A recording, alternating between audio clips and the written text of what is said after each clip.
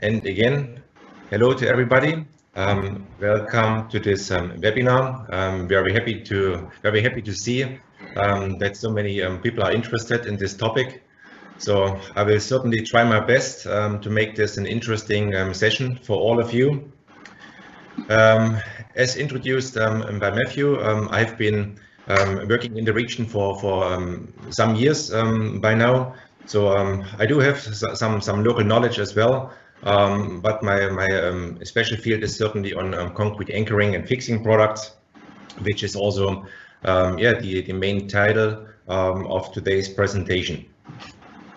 I've prepared an especially full program for you today. Um, and in order to get through with all the agenda points, we need to run the webinar more or less without interruption. So please keep your uh, microphones muted. there will be a Q&A session at the end of the webinar. So um, I would say that there are at least 20 minutes, maybe even more um, um, time to ask for, for questions. Let's, let's start. Designing um, anchorage points to concrete um, is quite known. It's a common challenge to structural engineers. Um, and this is also due to the wide choice of fasteners available in, in the market. I'm going to provide in the first part of this presentation an overview on available anchoring systems. Um, and then I will try to give you some recommendations, some guidelines um, on um, how to decide which fastener is um, most suitable for the respective situation. After that, in the second part, I'm going to talk in more detail about the HALFEN cast in channels, um, about the uh, manufacturing aspects, about available types, and some design related topics. Fasteners that are transferring loads, um, tension and shear loads into concrete can be generally divided into two uh, main categories. We have on the one side a post-installed systems. Stefan, uh, do you want to share your slides? Um, I was in the belief I did. okay. Okay, let me do that. Sorry for that. Can you see the slides now?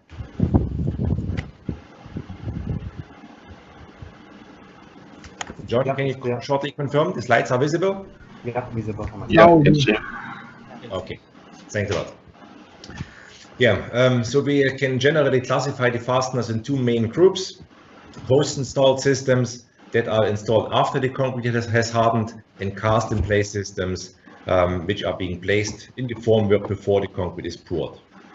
By most commonly, um, post-installed anchors are used um, cast-in um, channels represent um, a very um, good alternative, but require certainly pre-planning. This chart gives an overview over the different types of available systems. Um, anchor channels, weld plates, threaded inserts, or special um, connectors are available within the group of cast-in-place systems. The application for cast-in anchors um, is limited as the connection points need to be fully designed at the time of the concrete pour. These systems are commonly used for connection of facades or um, elevators, um, where the building is normally, uh, the, the, the, design is normally finished um, at the time of the concrete pour, allowing the fastener to be designed and installed in time. Most utility um, pipes, cables, um, or in general light fixings are fixed using post-installed systems. Post-installed systems can be subdivided in mechanical uh, anchors, bond anchors, and power-actuated fasteners. Um, I think this is um, um known to um, all of you. Connections are divided in general in structural connections and non-structural connections. Structural connections are normally um, defined as connections that are crucial to the stability of the construction, like seen here, bracings, um, important element being fixed, um, which are um, contributing to the stability of a structure. Non-structural um, connections um, are for, for typically um, yeah, suspended ceilings, facades, um, M&E fixings, mechanical uh, equipment, um, fixing situations which are not relevant for the overall stability of a building. The paramount aim of any fixing situation is to ensure that the installed parts are safe for the duration for the entire service life. To achieve this, the engineer need to take into account all relevant um, boundary conditions or application parameters, which are, for example, what kind of loads um, is being applied, which type, what direction, what is the required design life, um, what are possible maintenance intervals, what is the accessibility of the fixing, um, what are the environmental factors, um, for example, in regards to corrosion sensitivity, um, what is known about the anchoring base, what is about the attachment configuration. Um, all of these um, factors, parameters needs to be known before the design can be suitably selected. There's unfortunately not enough time to go through all of these um, points today. Um, let's look, look into some um, select parameters. I have selected suitability, uh, sorry, durability um, as a first one. The picture um, belongs to a five-star hotel project in Thailand. Um, and you can see there's some issue with, with corrosion. the durability of steel products is governed by the environment which they are exposed to the corrosion severity um, of the environment is, among others, influenced by humidity, temperature, salt, contact to other metals like um, um in case of bimetallic um, corrosion, industrial pollution, or even the, the time of exposure. I like to make this a little bit more practical um, with an example and then first of all showing you here today um, that there is guidance um, given to you as an engineer. Um, ISO 12944 part 2, for example, provides you guideline how to select or how to define the um, suitable corrosivity category. Um, an interior room, for example, could be um, categorized as a C1. it's a low challenging environment, and typically dry, no condensation aspects. Um, and the most demanding environment is a C5M, um, which is um, something like a, um, a marine, a coastal um, environment. Let's look into a one project example. Um, interestingly, that's an example from a project in Singapore. The specifications were showing a design life requirement of 120 years. Um, at the same time, the specifications were demanding for a hot dip galvanized fastener with a coating thickness of 45 micron. The corrosivity category for this um, tunnel project actually was not given. So for us be, uh, getting involved in this, we assumed conservatively um, a C4 environment for this tunnel structure. Um, taking then um, into account um, the coating thickness of 45 micron, and the corrosivity category, you can easily determine by this chart from the um, galvanizer. Sorry, can you still see the, I don't know what's happening no, here. Yes, we are. Let me share again. I don't know what happened, sorry. Um, this chart is provided by the galvanizer um, Galvanizer Association of Australia. You can find similar um, charts from other associations. Sorry, we don't um, see your screen. Sorry.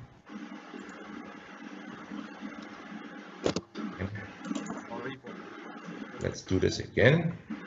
Sharing screen. Should be back now. So let's let's go on.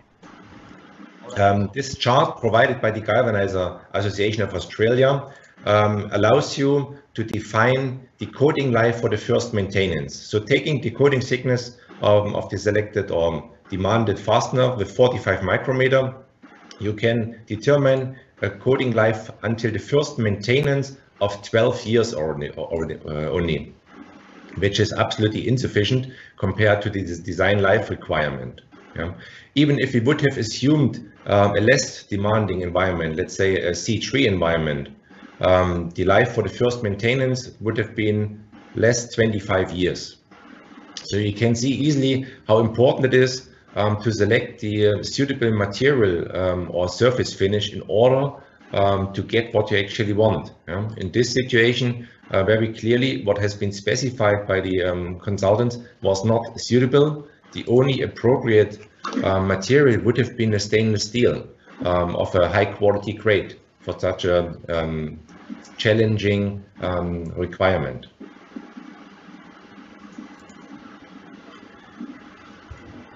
In order to design a fastener, it is also essential to understand how fasteners function. Um, that's why um, let's look into the different types and their respective um, load-bearing mechanism. We classify in general into three groups, um, mechanical interlock, friction grip, adhesive bonding. In case of mechanical interlock, the tension loading um, is being transferred by mechanical interlock uh, of the anchor head so it's a locking by the shape, by the form of the fastener. Friction um, is the working principle of expansion anchors. Um, when installing the anchor, an expansion force um, is being created, which gives rise to a friction force. Two types of expansion anchors are being distinguished. First of all, we look at the um, torque controlled um, anchors expanded by applying a defined torque Thereby the cone at the anchor end is drawn into an expansion sleeve and pressed it against the borehole. Displacement controlled anchors, like for example this um, drop-in anchor, um, are expanded by hammering. Um, in uh, uh, hammering a cone um, into the sleeve, the necessary displacement um, is defined. Adhesive anchors uh, are working on um, bonding principle between the um, anchor and the substrate. So we have typically injection anchors or capsule anchors.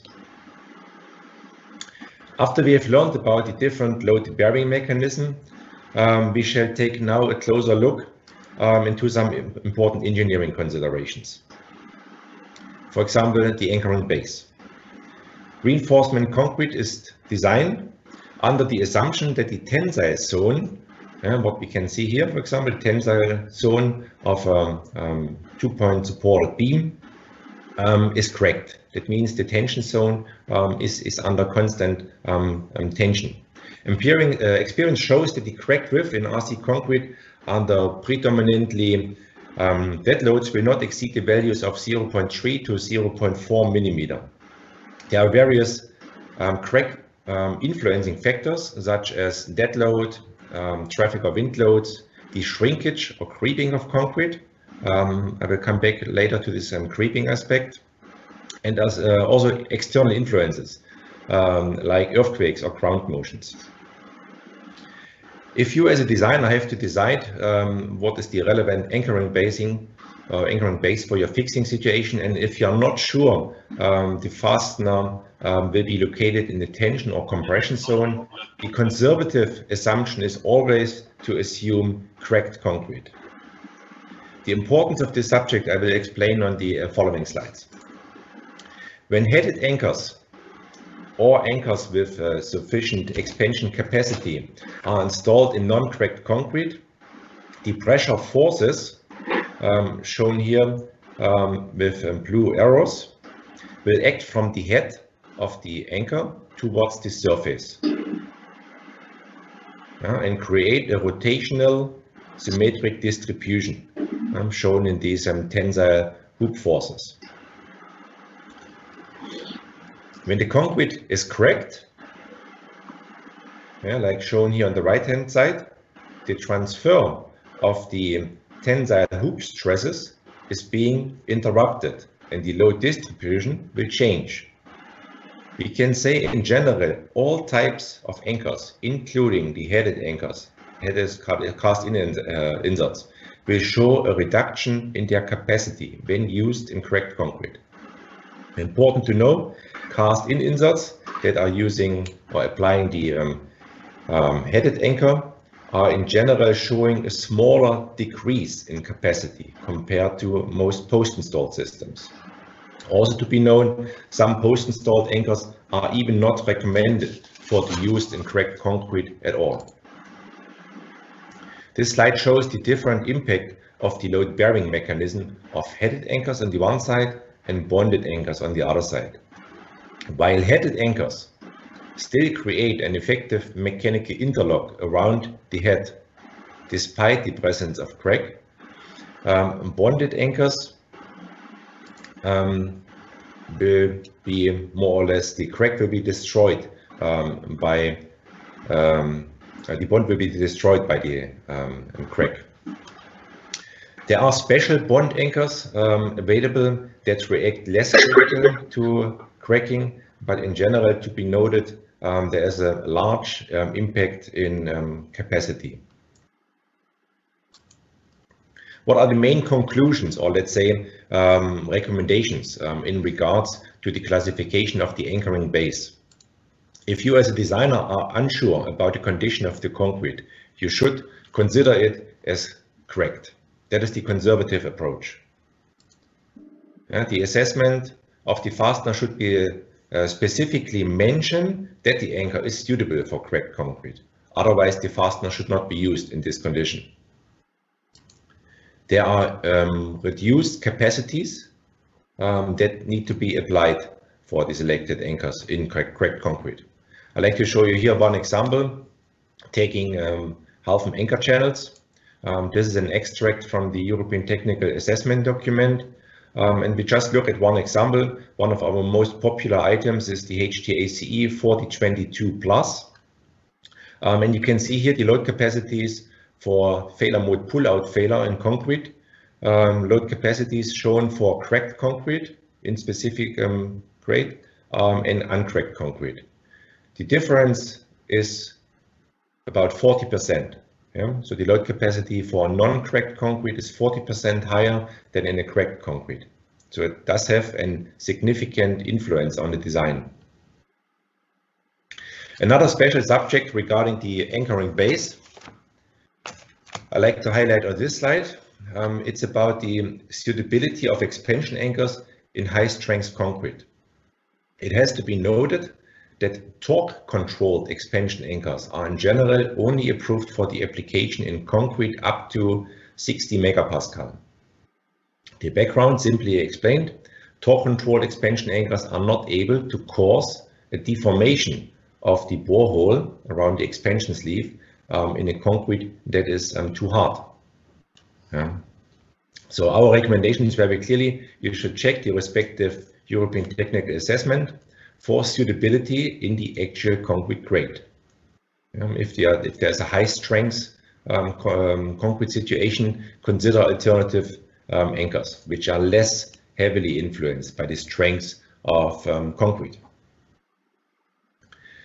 A very sensitive subject and of utmost importance for the designer is the creep behavior under sustained tension loading, what we can find typically in overhead applications.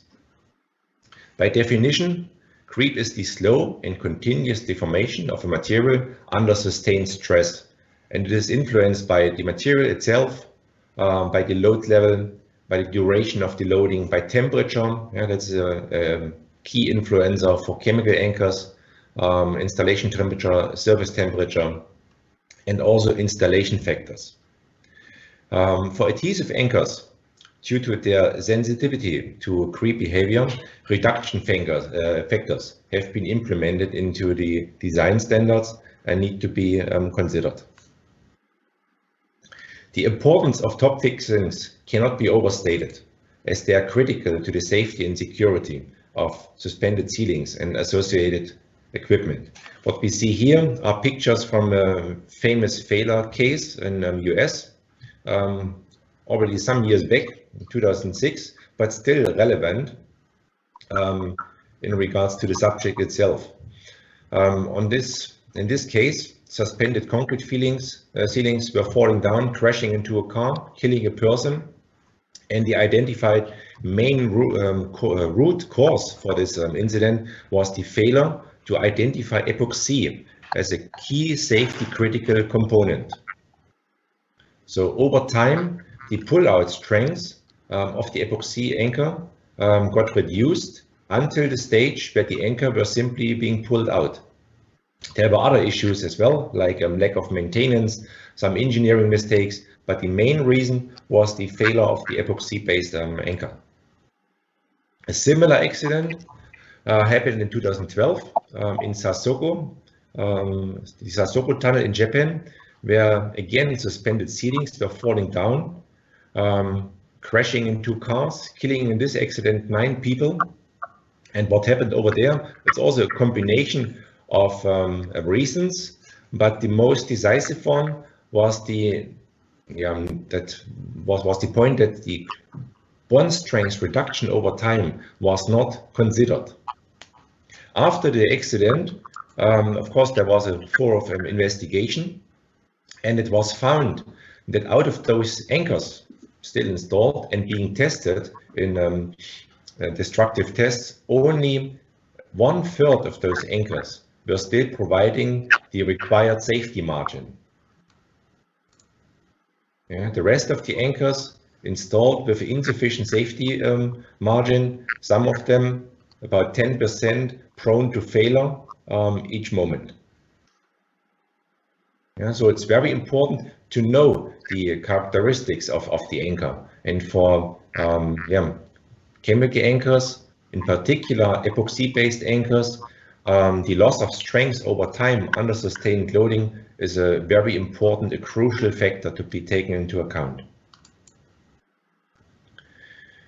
There are um, independent associations also looking into overhead applications and they have identified the most relevant reasons for um, the collapses of um, overhead of, of ceilings are related to incorrect installation and the incorrect selection of the fixings. Yeah, that's quite quite interesting. Um, I will come back to the installation related um, considerations later. Before going um, into the various installation aspects, I'd like to spend one moment um, on the topic of tolerances. When deciding on the right fastener, it's important um, to know about the tolerances that the fastener has to allow for. Um, anchors usually connect two items, um, often being built by different trades. Um, when the facade is fixed to the concrete floor, the expectation to the tolerances um, are certainly completely different to the contractor who builds the concrete structure and the facade contractor um, building um, steel or um, structures. Yeah. So the designer needs to know what are the different tolerances expected from the trades, different trades, and need to take this into account in his design. Cast-in channels typically create adjustable and permanently fixing, fixing lines, but they require pre-planning. So just keep in mind the anchors have to provide sufficient adjustability to bridge the usual construction tolerances. Let's compare the different systems available in regards to um, tolerances. For the comparison, I distinguish between adjustability um, during the installation um, and permanently remaining flexibility. Post-installed, anchors in general offer the highest degree, the highest level of adjustability, as the direction um, or the, the fixing position is quite flexible. You have a concrete structure, you can drill the hole wherever you want. Weld plates offer adjustability, but the adjustability is limited by the size of the weld plate. Threaded inserts, cast-in inserts, um, don't provide any adjustability, while cast-in channels provide adjustability in the channel length direction. In the other direction, the adjustability needs to be um, provided by the component being fixed, for example, with um, slotted holes um, in, a, in, a, steel plate. If you look at um, flexibility remaining during the design life, um, the picture looks a little bit different as all the methods on the right hand side do not remain flexible during the design life, while um, anchor channels remain flexible. That means you can adjust position. Plus, they offer you also to replace components to um, use um, instead of M12, M16 bolts, for example, yeah, to use or use different um, components of different grade, of different finish. Yeah, so the degree of flexibility um, is the highest for um, cast-in channels. Let's look now into important installation aspects of um, cast-in anchors first. Cast-in anchors like um, anchor channels, threaded inserts, weld plates are in general, we can say, very easy to install. They are fixed to the formwork before the concrete pour to ensure that they are flush with the concrete surface. It's important that the um, concrete is fully compacted, soundly compacted around the um, anchor in particular to um, avoid any honeycombing um, and um, loss of performance, loss of um, capacity. The final installation is also very easy, does not require any specialized um, equipment or tools, which is different to welding plates. Welding always involves qualified welders. There's a specialized workforce required, plus the additional effort in quality checking. Let's look now into installation aspects related to post-installed anchors. These anchors, in particular, I have to say again and again, um, in particular chemical anchors, are in general much more sensitive to the installation, to installation errors. Much more sensitive in comparison to any type of cast-in insert. To reach a full capacity, the anchor um, needs to be installed with the right equipment. It starts with the right drilling method. So the respective ETA um, will definitely suggest a suitable drilling method. Um, this chart here gives you an idea um, what is the impact of the different drilling method um, in regards to um, the development of um, bond strengths. Uh, a diamond core hole definitely comes with a very smooth borehole surface, so the bond strength is relatively low. Whereas for hammer drilling, you uh, create a very rough um, borehole surface, so you achieve a higher bond strength. This needs to be taken into account that for the selected fastener, also the required um, drilling method um, in combination with the right drilling equipment must be applied.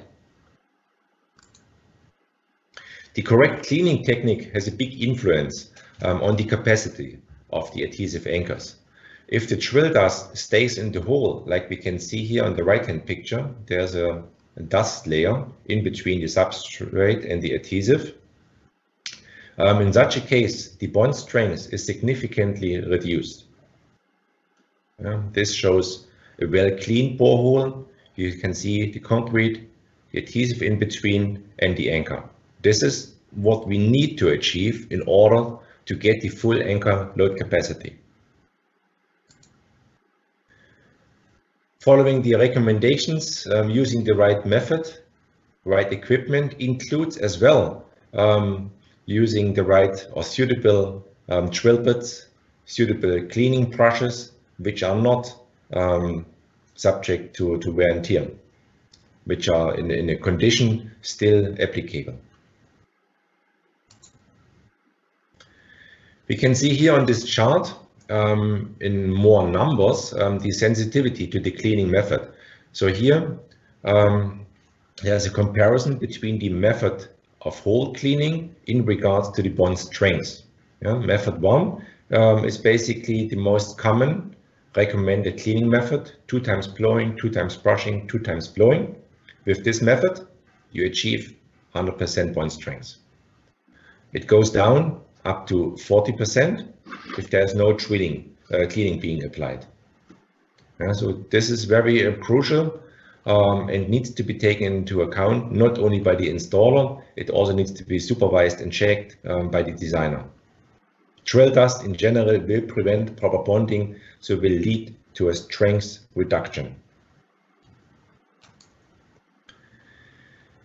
Some years back, there was a field study on adhesive anchors being um, undertaken um, in US by um, well-known experts, as you can see here, Grosser, Fuchs, Eligehausen, experts in um, concrete anchoring systems. Um, they have investigated um, uh, adhesive systems, either epoxy-based or hybrid mortars, what were the, the key takeaways from this field study? They found 77% of drill holes not correctly cleaned as per respective um, instructions for use. Majority of the sites were even not equipped with proper cleaning tools.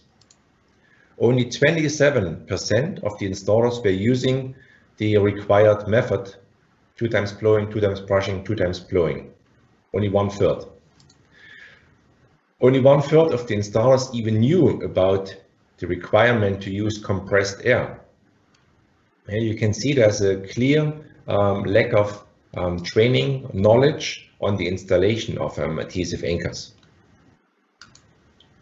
Yeah, just, just keep this number in mind, 77% of drill holes not cleaned as per requirements.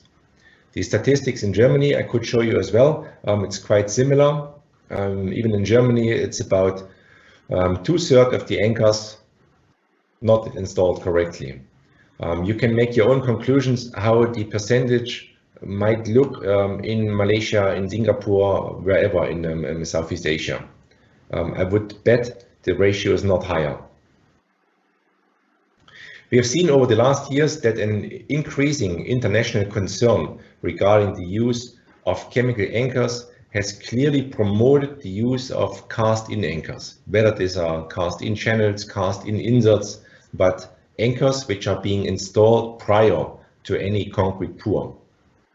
In 2014, for example, um, the BCA, the Building Construction Authority, um, in your country published this circular suggesting very clearly um, the, uh, wherever possible, cast in place anchors should be a preferred option over post installed anchors. Um, and this was clearly circulated, um, knowing that post installed anchors, in particular chemical anchors, are very sensitive to workmanship. Yeah, so you need qualified installers knowing what they're doing um, and doing it correctly in order to achieve the required performance. And since, uh, since this is a condition always in question, um, in general, cast-in-place system represent a more safe alternative. What is the, the right approach to ensure a safe anchorage um, to close this chapter here? First of all, let me say this.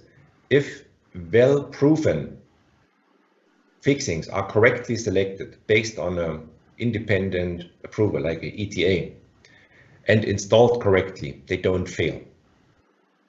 But a series of steps um, is required to avoid failures. It needs to be followed by all the stakeholders involved. This is um, in regards to specification, in regards to design, qualification, as well as, um, and definitely not last but not least, um, installation. If all the stakeholders are taking responsibility um, and contributing, um, you can achieve reliable fastening situations.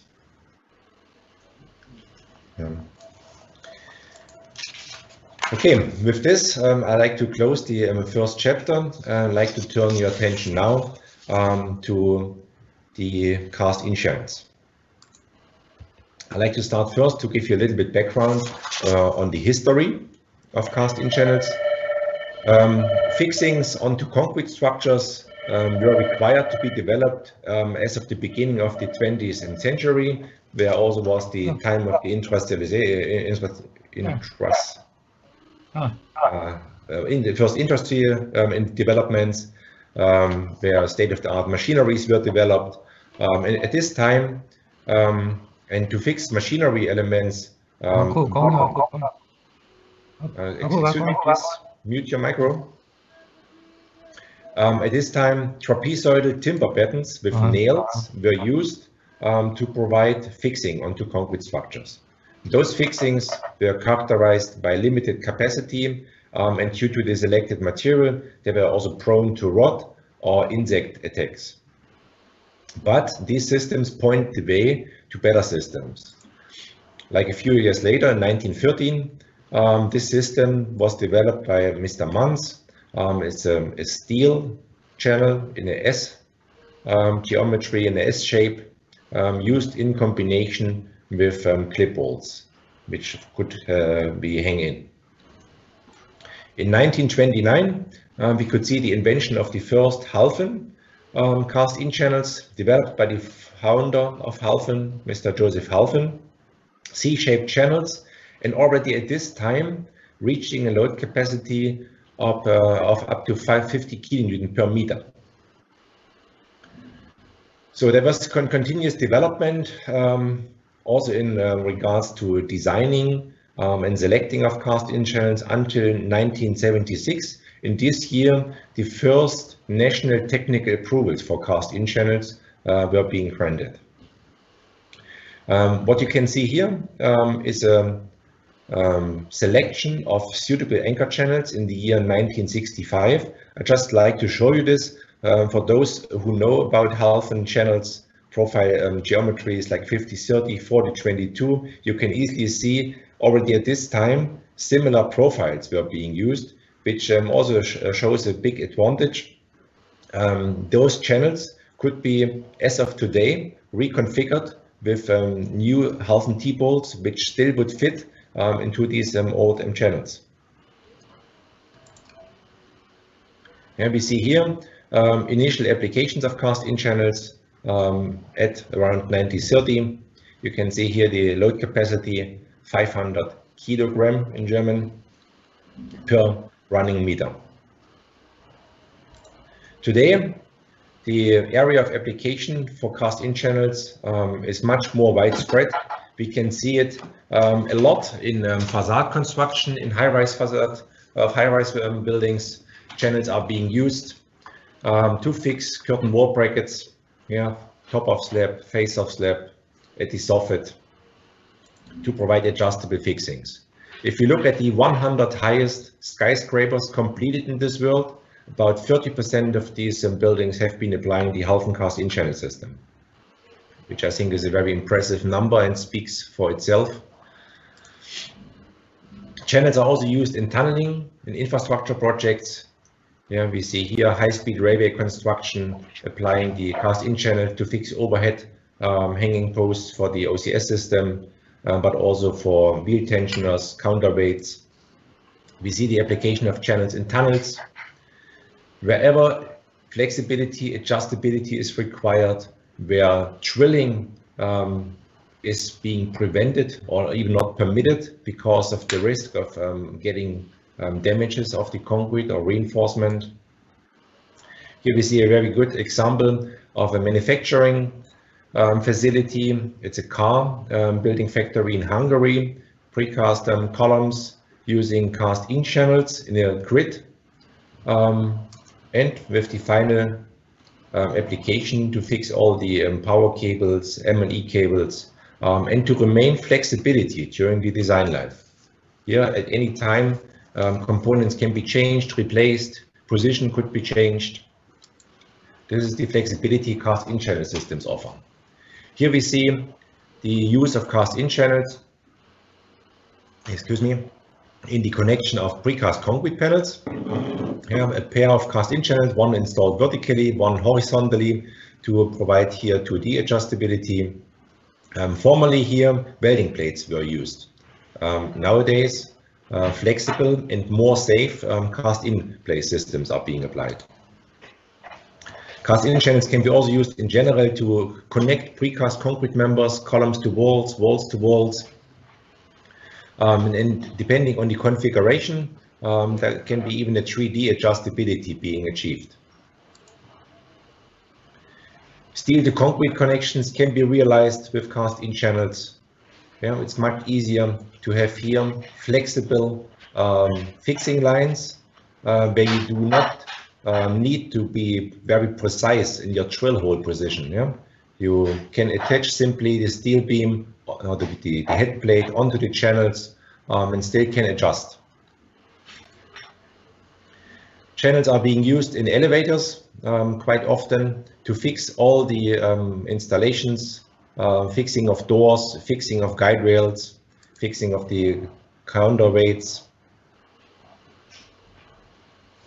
And the reason why um, channels are being often used in elevator shafts um, those um, structures are often, in particular for high-rise um, towers, um, sections with high-rise, with high reinforcement density. Um, and in such a situation, it's it's not possible. It's uh, definitely almost impossible to drill a hole into this um, concrete structure without hitting rebars um, and without damaging rebars or the concrete. Yeah, this is a nice picture I was taken in a project in China. this cross shows the marking of the desired um, um, borehole. Unfortunately, the installer hit the rebar. So then he was trying to drill here, trying to drill here until finding um, a hole without hitting a rebar um, in, in, the, in the fourth try. Yeah, so cast-in anchors are in general more suitable for um, high um, density of reinforcement bars. There's also the advantage that anchor channels, for example, can be configured in their anchor spacing to suit the rebar spacing on site. Typical applications of cast-in um, channels are also in post-tension structures. Um, those are structures where drilling is typically not permitted um, for good reason because these tendons are um, highly costly um, and damaging them um, is something, it's a risk not being accepted. Yeah, let's let's look into some more um, product specifics, um, starting with um, a definition. What are cast-in channels? Um, cast-in channels um, are C-shaped channels, C-profiles, equipped with uh, rigidly connected anchors at the channel back. They're installed flush at the concrete surface, and with the help of T-bolts um, attachment fixtures, fixtures can be um, fixed onto it. The fastener is based on the mechanical interlock principle, um, which we have um, explained, which I've explained before. What are the important system components? First of all, it is obviously the C profile with the anchors. This is the main component, but the filler um, is a very important component as well, as it prevents the concrete inflow during the pouring. Um, and the third component is the T-bolt or the T-bolts. Let's look um, into some uh, manufacturing aspects which are important to know and to understand in order um, to yeah, um, have the right conclusions in regards to um, channel selection. In metalworking, rolling, which is the most um, typical um, manufacturing method for cast-in channels, rolling is defined as a process um, in which metal is passed through one or more pairs of rollers to reduce the thickness um, and to um, achieve the desired geometry. You can easily compare um, with rolling of a cake dough. Uh, very simplified, but the principle um, is not so much different. The rolling itself is classified, the rolling of metal is classified um, according to the temperature um, of the metal rolled. If the temperature of the metal is above the recrystallization temperature, for steel this is typically in between 400 to 700 degrees, then the process is known as hot rolling. If the temperature of the metal is below the recrystallization temperature, the process is known as cold rolling. For steels, um, hot rolling is generally conducted at temperatures um, in between 850 to 1200 degrees. These uh, extreme temperatures are much higher than the steel's uh, recrystallization temperature meaning it can be shaped very easily. Cold rolling refers to the process done near the room temperature. On the next slide, um, I want to show you the different impact uh, of the respective rolling process in regard to the resulting microstructure of the rolled profiles. For both methods, the initial metal structure shows a fine equiaxed um, grain structure. During the rolling, those grains are being elongated. In case of hot rolling, due to the recrystallization, a new fine-grained equiaxed microstructure results, while as in case of cold rolling, the elongated grain structure remains. Let's look more closely, first of all, in the hot rolling process. To process hot rolled steel, manufacturers start with a large rectangular um, length of metal, so-called billets. Um, those billets are being heated via a furnace, often a gas furnace, um, and then sent for pre-processing, where it's flattened into um, large um, rolls. From there, it is kept at high temperature and run through a series of rollers until the desired dimensions, geometries are being uh, achieved. After the last rolling step, the recrystallization takes place. Um, if you read in uh, Wikipedia the definition of um, recrystallization, it's being defined as a process by which deformed grains are replaced by a new set of defect-free grains that nucleate and grow until the original grains have been entirely consumed. Recrystallization usually goes along with the reduction of strength and hardness of the material and a simultaneous increase in ductility. Um, I will come back to this ductility point because this is very important for uh, in regard to the performance of hot rolled cast in channels. Hot rolled steel um, is allowed to cool at room temperature. Um, so you can say it's essentially normalized, meaning um, it's free from internal stresses that can arise from quenching or um, work hardening processes. The last production step is the um, straightening um, of the profiles. Let's compare the resulting um, characteristics of hot rolled and cold formed um, channels. We talked about the grain structure already. Um, looking a bit more closely in the cold rolling, you, and, and, to simplify it, you can compare it with um, bending um, a steel bar. Um, during bending, you get compression and tension forces in the steel. Um, after plastic deformation, and those re, residual tension and compression remain um, even after um, the loads being removed. Yeah, so this is characteristic um, of cold rolled profiles. There is a residual tension um, inside the profiles, especially in those areas where bending took place. Yeah, hot rolled um, profiles are characterized that induced stresses are removed. Cold rolled, to say this again, residual tension and compression stresses remain within the profile. What are the consequences in regards to softness and ductility? Hot rolled profiles typically remain soft and ductile.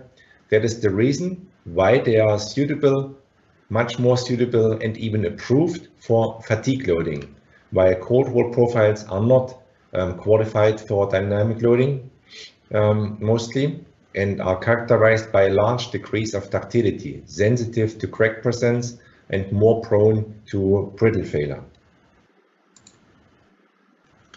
Here you see some um, pictures from um, in-house testing um, of um, Halfen cast in channels.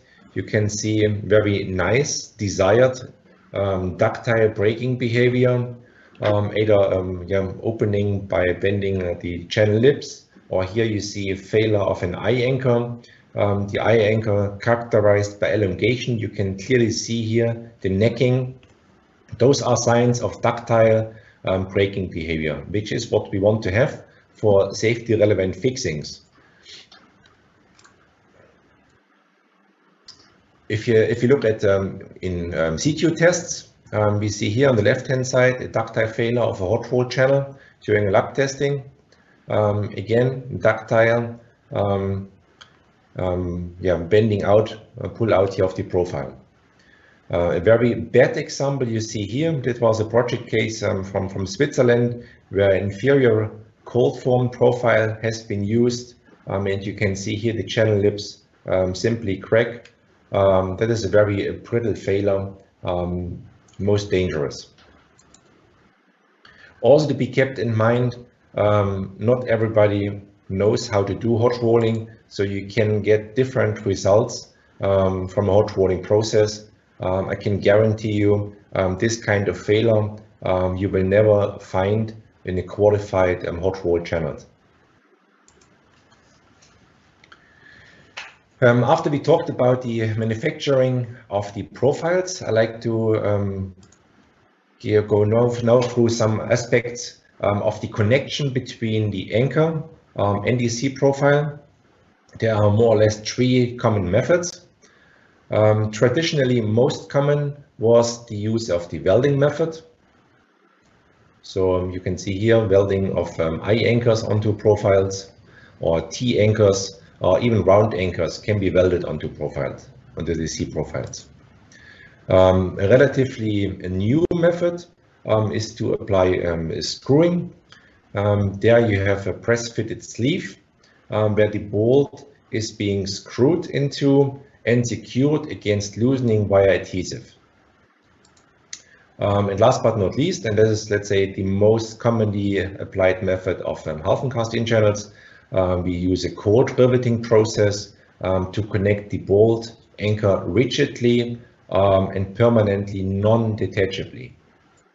In regards to these screwed anchors, um, I have to make this remark that this is um, the most sensitive connection method um, in regards to rough handling. So if you drop these channels on site, it can very easily get to a situation that the connection gets loose, which is a, a dangerous stage. In regards to the um, last component, the channel filler, um, again, the main function of the channel filler is to prevent safely the inflow of concrete into the uh, into the profile during the casting. Um, in order to um, in, ensure this, the quality of the filler is very important uh, because it might be products are being stored for quite some time on site under weather influence so good product, uh, product characteristics are key in order to guarantee the performance. So in case of Halfen, um, we apply PE fillers, non-absorbent, um, which are suitable under demanding and weather influence conditions as well. Um, sometimes um, we see nowadays in the market the use of um, plastic end caps. Let me say this, um, plastic end caps are not required for the functioning of a cast-in channel. In general, assuming um, the filler um, is completely um, protecting the inflow of concrete. Plastic end caps um, are even representing an additional fire hazard if they remain in concrete. I'd like to show you now an overview of the available um, cast-in channels, the available Halfen cast-in channels. We uh, basically offer three groups of profiles. We have um, hot rolled, uh, cold formed, non-serrated channels, hot rolled, non-serrated channels, and uh, our most advanced channel generation um, are the hot rolled with uh, um, serration at the channel lips. Let's go through and um, these different groups, and um, I will give you some, some more uh, information. Um, cold form channels in general are characterized by um, typically round corners, a constant material thickness over the cross section, and a very smooth surface finish. Those channels um, have been developed for 2D load application. That means in tension and transverse shear mainly. There are several approvals available. Um, German national approval, um, ETA assessment, um, ICC approval, or even in, in China we have an approval for these um, products. This is the range um, of available profiles.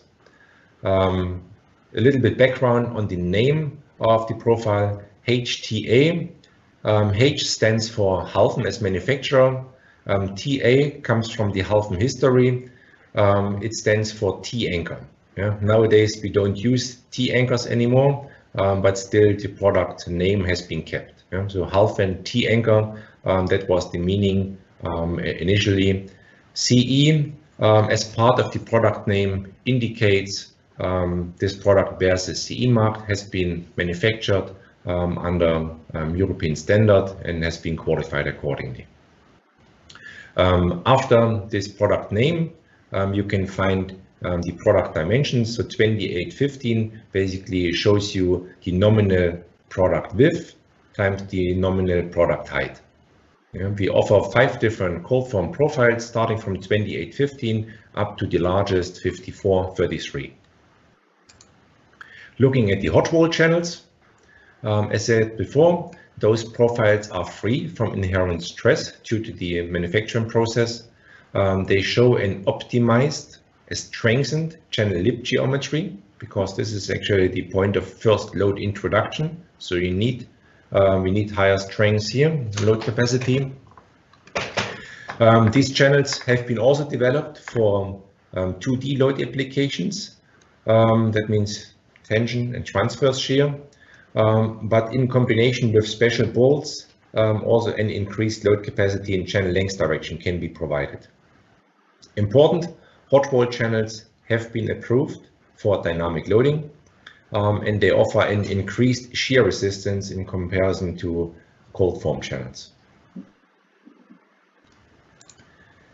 Some um, yeah, recent innovation within our company, um, we have developed two new profiles uh, within the um, portfolio. Um, the former HTA CE4022 has been nowadays replaced by a plus version and the same goes for the 5030 has been replaced by the 5030 plus version today. The big benefits for the customers, smaller channels are applicable for a wider load range. Um, that also means smaller T-bolts, more economic T-bolts can be also used for a wider load range. Last but not least, talking about the most advanced Halfen cast-in channels, which are the hot rolled tooth channels. We also call them Dynagrip. Dynagrip as a name to also give you directly an idea of the product characteristics. Dyna um, means it offers highest dynamic load capacity. Grip stands for the load transfer mechanism between the T-bolt um, and these uh, serrated channel lips. Yeah, serrated channel lips, serrated T-bolt. What you get is a very strong mechanical interlock um, in the channel length direction.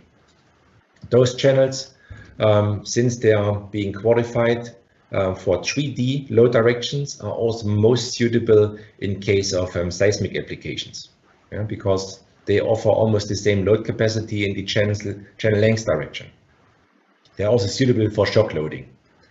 Um, approval situation very shortly. There's a national German approval. There's an ICC approval. Um, for cast-in channels, they're rated. There is no European technical assessment available as of now covering um, the third load direction. Um, simply explained, there is no European assessment um, document published yet to cover the design in the third load direction. So as of now, all uh, still uh, regarding or depends on the um, supplier um, own testing um, and test reports to qualify channels for the third load direction. A little bit German knowledge, um, since I'm a German and you can tell from my um, aspect, uh, sorry, from, from, my pronunciation, I'm a German. I like to give you also some, some German word today to take home. Um, Halfen HZA, um, this product name um, shows again um, Halfen as a manufacturer and this um, set, which stands for the German word Zahn. Um, Zahn means in English tooth. Yeah. So maybe you can keep this in mind. Z stands for tooth. Maybe this picture also helps you to keep in mind, but maybe you keep it in a different um, um, um context because this picture shows an old man with a very weak tooth um, and Halfen cast-in channels are actually being manufactured with many teeth. Um, and the same goes for the bolt. So this is a very strong connection. Yeah? So you have a very strong toothed connection between the serrated channel and the serrated T-bolt, achieving a strong mechanical interlock in the channel length direction. Yeah? And because of this strong connection, those channels are the most suitable channels in the third um, load direction. What is the available range? Um, we offer from the smallest one, HZA 2920, um, until the largest one, 6444, achieving design capacities of almost 40 kilonewton. Um, we can also always offer customized channels depending on the design situations. So here, for example, we see a channel equipped with a rebar uh, instead of a bolt anchor with a head. Um, this is um, yeah to provide a channel with a different bearing mechanism. Um, this is not based on mechanical interlock between the anchor and the substrate. This channel is characterized by the bonding principle. Yeah, by the bonding via the rebar um, transfers the tension load into the concrete. So those channels are suitable for relatively thin members um, and um, high tension. In situations, um, is just a project example, um, applying the system in situations where you have a high shear situation, high shear and a very thin concrete component, what we very often see now in um, high rise under extreme high wind load conditions, um, we have um, specialized, specially customized channels where the um, hot rolled channels are being equipped with an additional steel hoop so that the shear forces are being transferred away from the concrete edge further um, to the back of this lab. Channels can be also manufactured in uh, curved um, geometry. So either here, um, this is a large column, but it can be also used in tunnel. Um, so channel slot outwards, inwards, both is possible, and the manufacturing can be done with very tight um, tolerances. These are the available um, Halfen T-bolts. Um, just one slide to quickly explain. We have the standard T-bolts, non-serrated, which are used in combination with non-serrated, with all types of non-serrated channels. Then we have the serrated T-bolts, which are only being used in combination with hot rolled serrated channels. And we have this uh, special bolt, so-called HSR bolt, because there's one rib on this um, um, um, bolt. This bolt can be used in combination with hot rolled channels only, um, it also creates a mechanical interlock, um, and with this you can increase the load capacity in the third um, direction. But still you cannot achieve the same capacities um, as for the serrated combination. Let's look now into some um, design um, aspects. Um, I'd like to start first um, with um, short introduction on the general load bearing mechanism of cast-in channels we were already saying um, this is a headed fastener. Um, so that means tension forces are being transferred via the C profile towards the built-in end. Um, and from there, compression forces um, are activating um, a concrete cone. In case of shear load, um, it's more or less the profile size itself, which um, influences the load capacity and transfers the load, the shear load into the concrete. If we look now here at this um, a bit interactive um, um, slide, um, typically we ask the audience um, what are the key factors influencing the design resistance. Um, today I, I, will just go, it, uh, go through by myself. what are the what are the most influencing factors for this channel? It starts with the effective anchorage length but also the concrete condition, uh, component dimensions, and the edge distance. Yeah. Obviously, the longer the anchor, the longer the effective, uh, the larger the effective anchorage length, the larger the concrete cone becomes. Immediately, if you reduce the edge spacing, let's let's say you, you halve the edge spacing, then this concrete cone area is not available anymore. So you have a reduced capacity and so on. Concrete condition is important. Um, cracked, non-cracked, we, we talked about this before, the difference um, about 1.4. Um, and the concrete grade itself also makes a difference. Do we have 20 megapascal or 60 um, for cast-in fixings based on a headed principle, headed anchor principle? Um, the higher the concrete grade, the higher the load capacity.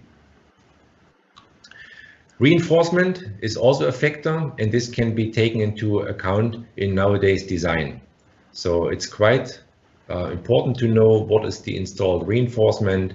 Um, knowing what reinforcement is installed um, may allow for um, yeah, much more um, design capacity providing design. Yeah. The today's um, design um, is based on the limit state um, design. This um, methodology um, is a rational approach to engineering, uh, well known. It's based on the identification of statistical load and strength distribution curves, as well as the acceptable probability of failure.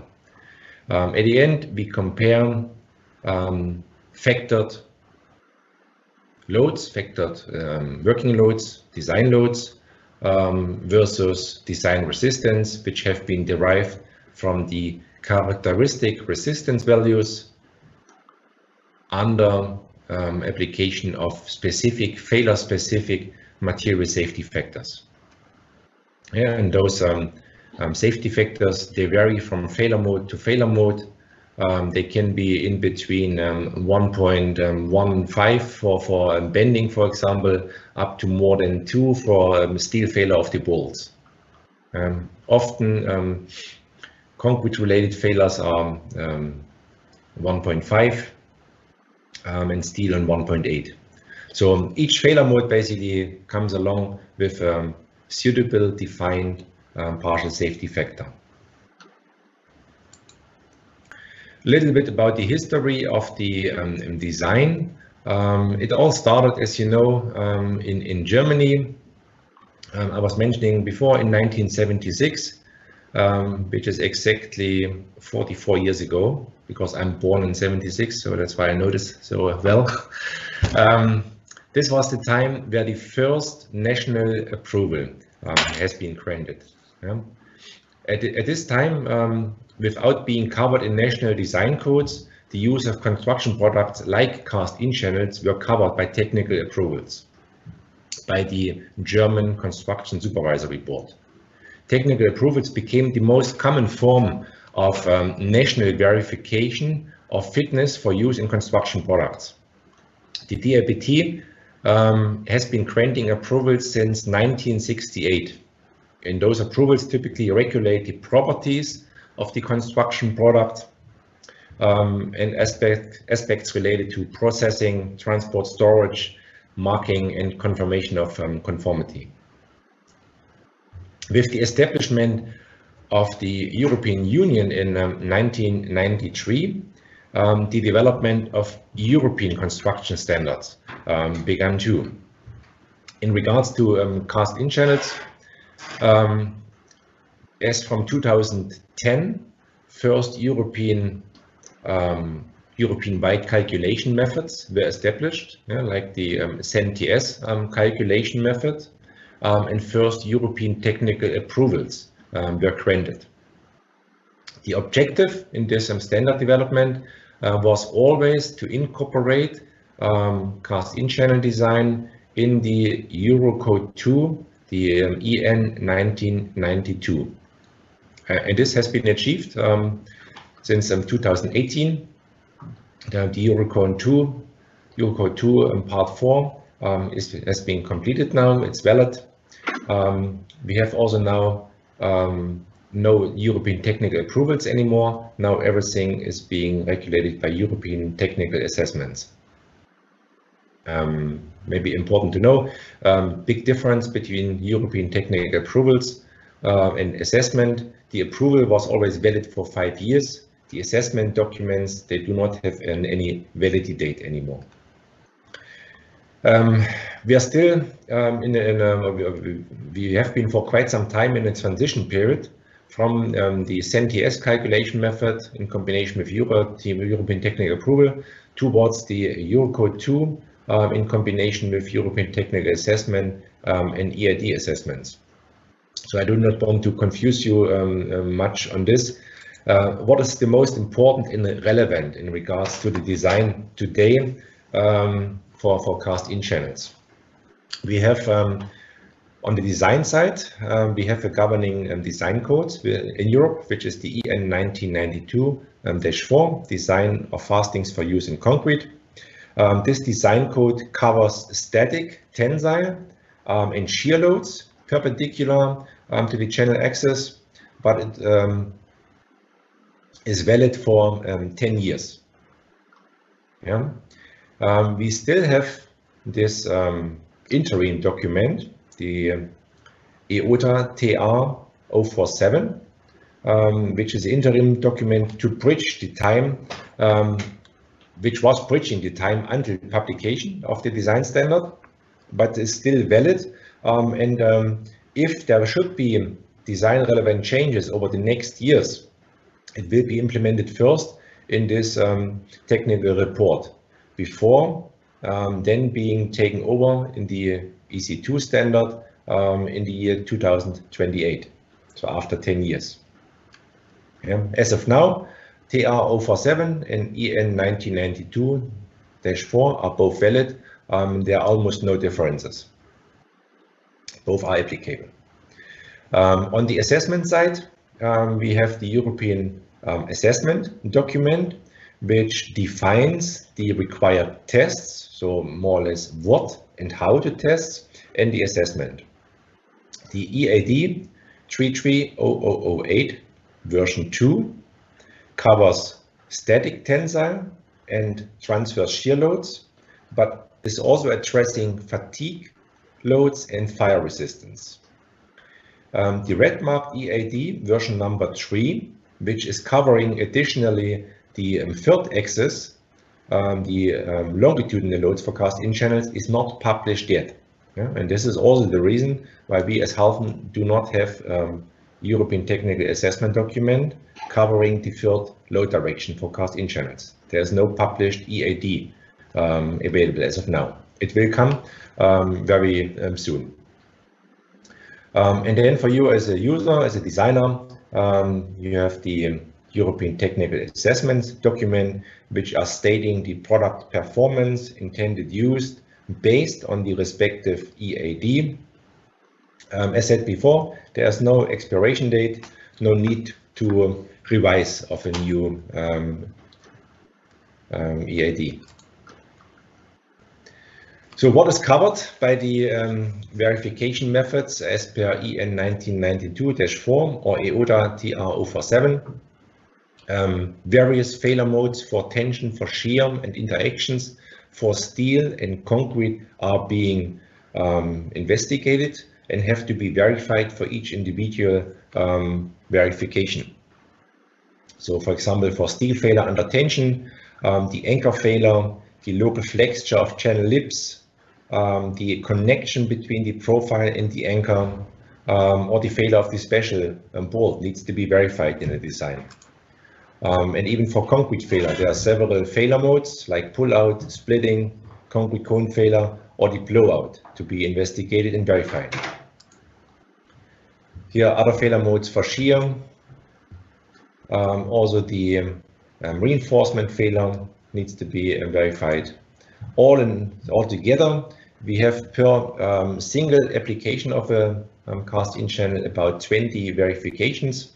So the manual design um, nowadays is um, not to be recommended.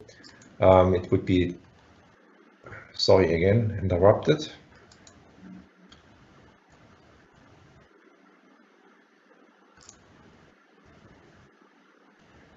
I don't know what happened now here. Okay, we are back. Sorry. Some bandwidth problem, maybe. I don't know. So um, I hope you can hear me again. Otherwise, please give me a, a signal. um, so this verification process would be taking very long. Um, if not, um, you could use provided design software. This is the fastest and also by um, ways safest way to design anchor channels. Yeah, full liability on the design results um, is taken by the provider. And here you can see some screenshots of the um, Halfen dimensioning software. You can select the um, design guides or design standard valid for your design. You can model brackets um, into the software so that you don't have to calculate um, by yourself manually the forces acting on the channels. You get um, professional design report, which can easily be put um, attached to your um, um, submission. And with this um, design software, you can also use this quite smartly for your design. you get easily an overview what are the different utilization ratios, what is the decisive failure mode. Um, knowing what is the decisive failure mode will also bring you in position um, if you have some, some general understanding which parameters can you manipulate it in a positive way to make your verification work. Yeah? So for example here, the interaction between um, NRDC, which is the concrete cone failure, and VRDC, which is the concrete edge failure, um, has been defined as decisive. So it's a concrete failure mode. Um, in order to lower the utilization, you could think about um, placing a reinforcement as an edge reinforcement. You could think about increasing concrete grade, things like this. Yeah? Understanding these reports, understanding what is the decisive failure mode, mode um, gives you the, the, tool to make um, positive uh, modifications. Um, this was the design approach for non-serrated channels. For tooth channels, for serrated channels, um, the design is still based on a manual design approach since there is no um, European assessment document available regulating the design in the third um, load direction. Um, it's still based on the DIBt approval or independent test reports. Um, suppliers like Halfen, we provide um, load tables where you can find the permissible loads derived from test results in concrete um, the design resistances. Those design resistances are only valid in under consideration of those um, standard spacing and um, minimum component um, conditions. Yeah, so this must be linked together. Um, for 4127, you can only utilize full load capacity if you have a low uh, edge distance, for example, from 200 millimeter.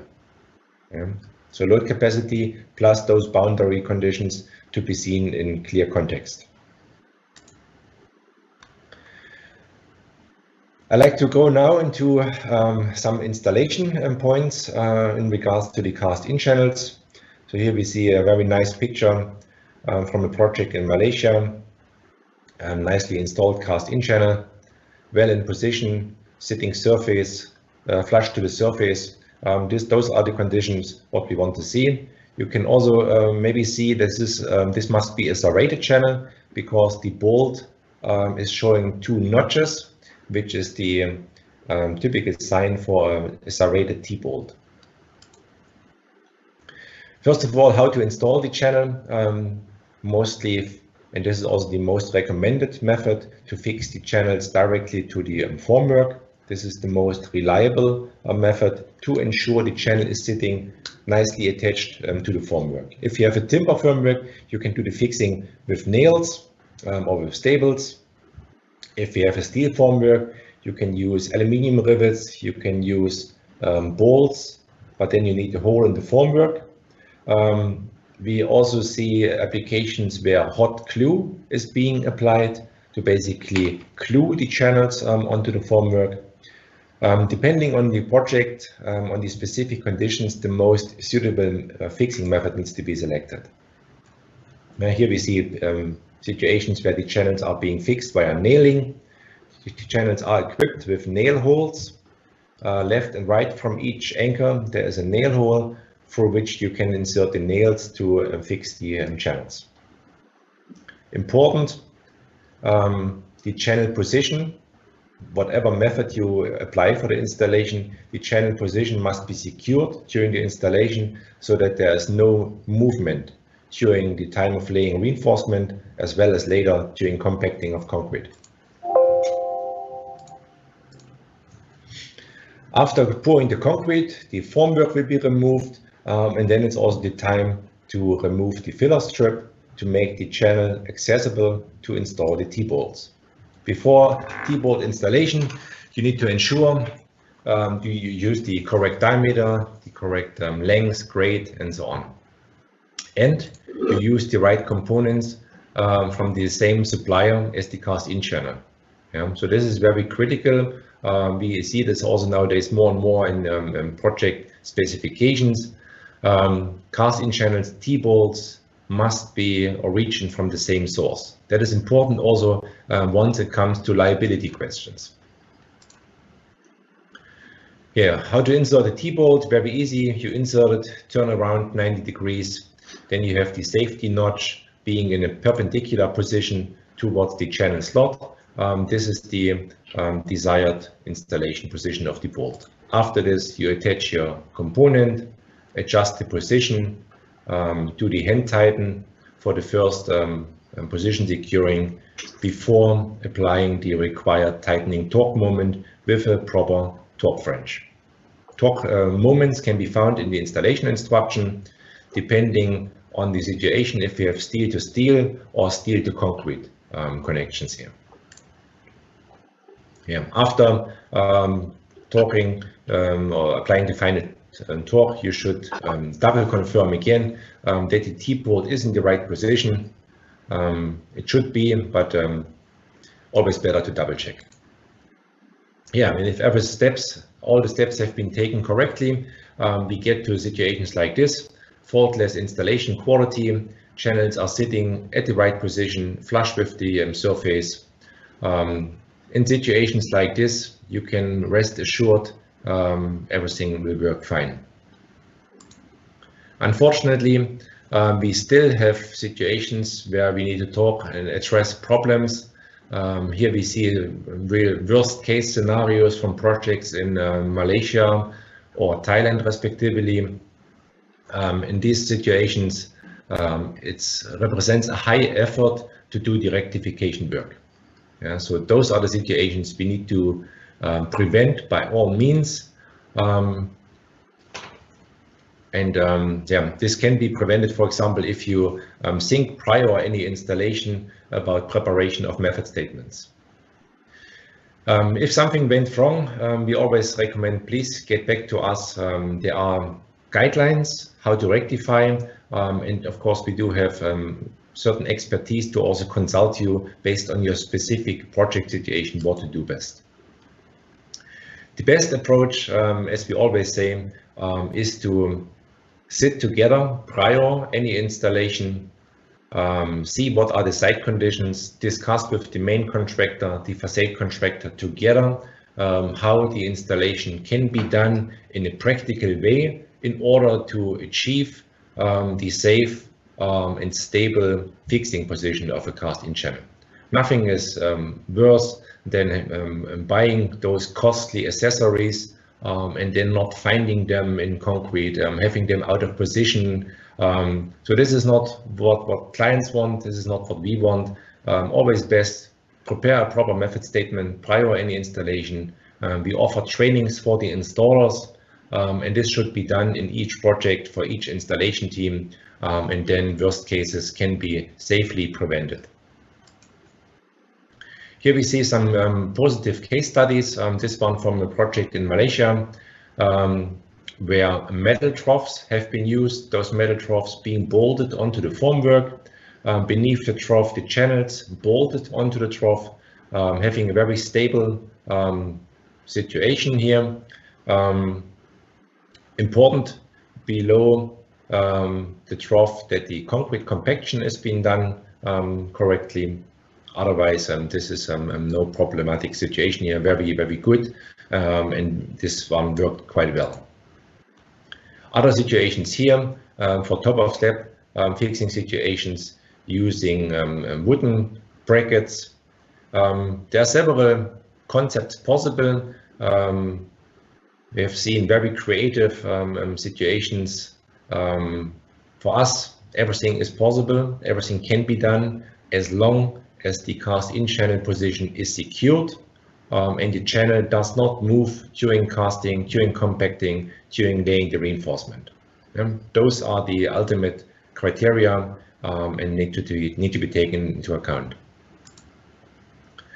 Um, in Asia, we see also situations where welding is being applied. Um, this is not what you can find in our official um, documentation because welding may impact the mechanical properties, the coating, as well as the health of the installer. So it is certainly not the most desired installation mean. Still, it is um, being applied. Um, and if we are being asked about our opinion on it, um, we say, okay, um, if there is no alternative, uh, be careful. Welding should be done by a skilled worker, by a qualified welder.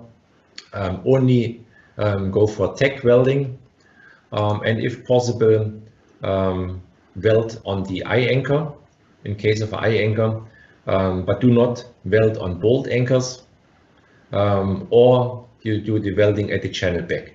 Yeah. So just keep this in mind. TIG welding, qualified welder, and um, pay attention to the most suitable position at the channel. And after welding, also take into account to repair the damaged coating layer.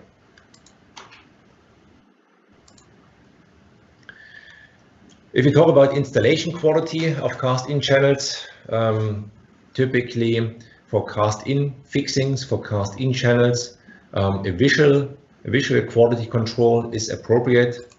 Um, you can see uh, the channel is sitting flush in the concrete at the right position. The concrete quality itself is being tested separately. So in this situation, you can be pretty sure um, everything is as per requirement and the product can be safely installed. Uh, the, the, components can be safely attached. Um, in case of post-installed situation, um, it is different. Yeah? By going to a site, um, looking at those um, installed um, post-drilled anchors, nobody can tell by looking at those anchors everything is, is all right, everything is in order. Yeah? Because um, if you look if you look at those pictures, you have no idea how the borehole has been cleaned, cleaned, how it has been drilled, how the adhesive has been um, treated and used. and since those anchors are sensitive to um, workmanship um, to correct installation.